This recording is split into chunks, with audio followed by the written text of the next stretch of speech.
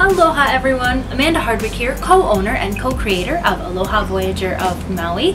Today I'm going to talk to you guys about some of the uses of our organic Hawaiian Castile soap outside of the obvious use of washing the body.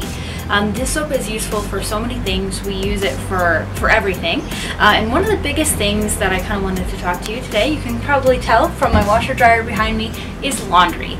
It's really, really easy to use this soap for laundry. It is gentle and safe uh, and it's not going to damage your machine at all. It is pure soap, so it's really good to use for your laundry as well, and it's very, very easy to do so.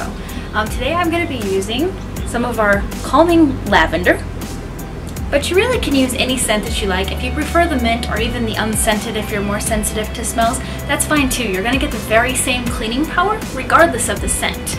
So it's really simple. All you need is just your bar of soap, and then I'm just using a, a, potato peeler or an old vegetable peeler that we have. It works really, really well, but you can use a knife too, um, because all we're gonna do is basically just shave off some of the soap into the washing machine. So um, just make sure that when you're doing this, you're very careful, as you would be if you're working with vegetables or food. Just make sure your fingers are kind of clear out of the way. You don't want to accidentally cut your finger. That's another reason using a potato peeler or a vegetable peeler would have a benefit over using just a regular knife. Just a little bit more safe. But it's very, very easy. Just open up your washing machine, go right over with your bar of soap, and then just take some shavings off.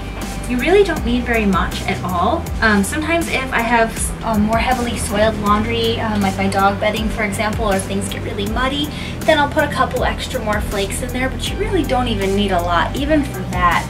Um, and you just kind of put in a couple, um, I'd say maybe like, um, maybe like 20 swipes should be good right around there. Obviously your washing machine is going to be a little bit different, so maybe a little trial and error for you, but for me, it only takes a few and it gets our clothes smelling really, really nice. It doesn't have a lot of that residual, very chemical smell that you get kind of with a lot of um, laundry soap.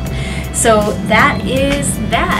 Guys so much for watching, and if you don't already have some of this wonderful soap for yourself, please feel free to buy some at www.avmaui.com or for more updates on upcoming products, you can follow us on Instagram and Facebook under Aloha Voyager of Maui. Thank you guys very, very much, and always remember that you are loved and expertly crafted. Our soap is too. Peace and blessings from Maui.